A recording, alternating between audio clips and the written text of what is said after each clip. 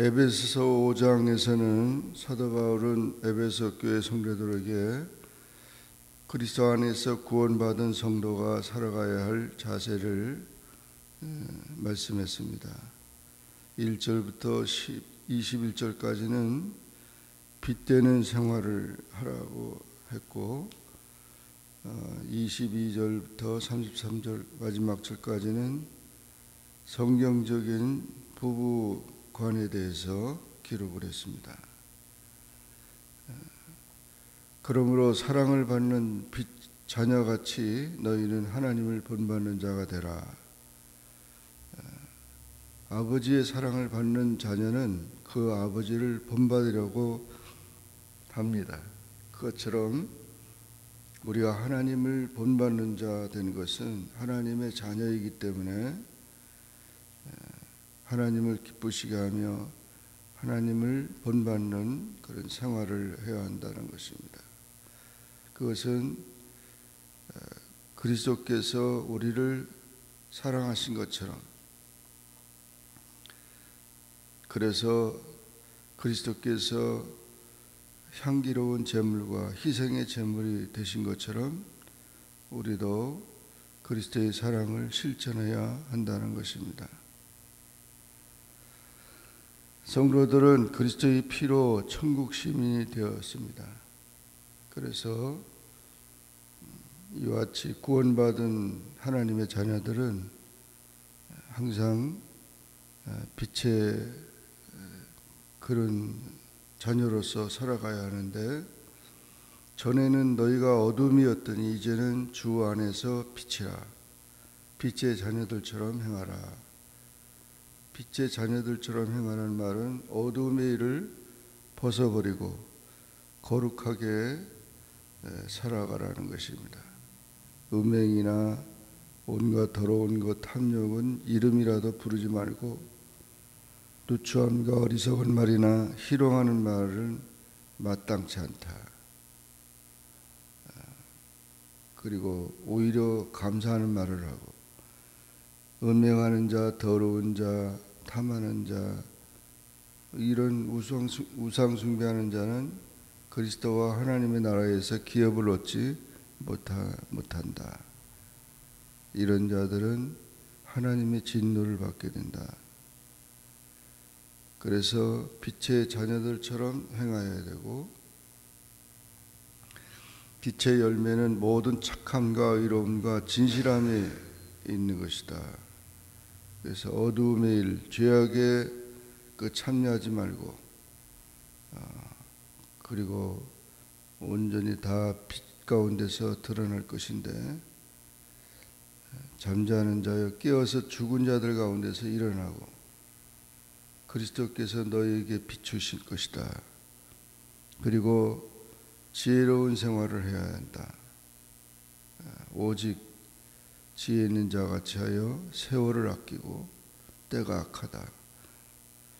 주의 뜻이 무엇인지 이해하고 술 취하지 말고 방탕한 것이니 오직 성령의 충만을 받으라. 이 성령의 충만함은 성령의 지배를 말합니다. 그래서 구원받은 성도가 성령의 인치심을 받고 그리고 계속해서 성령의 충만함을 받아서 아, 우리의 삶이 찬송과 감사와 봉사와 그런 모든 아, 성김의 삶을 살아갈 수 있도록 아, 성령 충만함으로 살아가야 한다는 거죠. 빛되는 생활은 성령 충만한 삶을 말하는 것입니다. 그래서 지혜 있고 또 세상에서 유혹과 관심과 그런 모든 것들에 그런 것에서 자신을 지키고 항상 하나님의 뜻을 생각하는 그런 삶을 빗대는 생활이다 이렇게 말씀했습니다.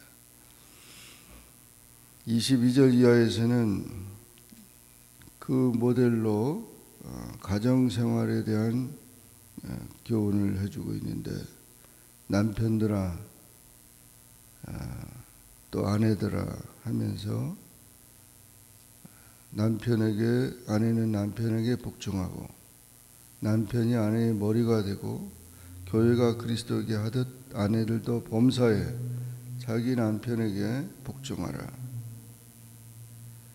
아, 그래서 이와 같이 순종에 대한 그런 교훈을 하고 있고 남편들은 아내 사랑하기를 그리스도께서 교회를 사랑하시고 교회를 위하여 주신 것 같이 사랑하라. 그래서 어, 거룩하고 어, 흠이 없게 그렇게 가정을 지켜야 된다는 것을 말하고 있습니다. 어, 하나님께서 우리에게 주신 가정과 교회는 귀한 축복입니다. 그러나 사탄 마귀가 가정을 유혹을 해서 에덴 동산에서 쫓겨나게 만들게 된 것이고 예수님이 다시 오셔서 가정을 회복시킨 것입니다. 또 교회를 세우신 것입니다. 그래서 가정은 교회 같고 교회는 가정 같아야 아, 되고 아, 이 가정이 하나님의 은혜가 은혜와 사랑이 충만해야 한다는 것을 보여주고 있습니다. 가정이 이 마귀의 역사가 되서는 안 됩니다. 항상 아, 가정을 천국을 이루고 하나님 앞에 영광을 돌리는 그런 삶이 되어야 합니다.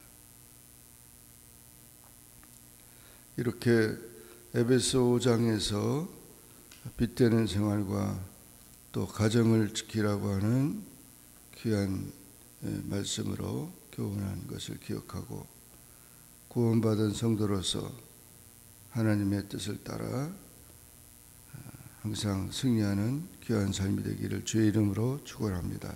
기도하겠습니다. 사랑해 주님 감사합니다. 오늘도 주님 앞에 나와 기도하게 하시고 주의 말씀을 상고하게 하시니 감사합니다. 에베소 5장에서 사도 바울이 그리스도 안에서 구원받은 성도의 삶의 자세에 대해서 말씀한 것처럼 우리의 삶이 빛되는 삶이 되어서 항상 거룩하고 하나님의 뜻을 이루어가는 성령 충만한 삶이 되게 도와주시고 또 우리 가정을 하나님께서 지켜주시고 하나님의 영광을 돌리는 복된 가정 아, 되게 하여 주옵소서. 예수님의 이름으로 간절히 기도하옵나이다. 아멘. 하늘에 계신 우리 아버지여 이름이 거룩히 여김을 받으시오며 나라에 임하옵으며 뜻이 하늘에서 이룬 것 같이 땅에서도 이루어지이다. 오늘날 우리에게 이러한 양식을 주옵시고 우리가 우리에게 죄진 자를 사하여 준 것 같이 우리 죄를 사하여 주옵시고 우리를 시험에 들게 하지 마옵시고 다만 악에서 구하옵소서. 대개 나라와 권세와 영광이 아버지께 영원히 싸움나이다. 아멘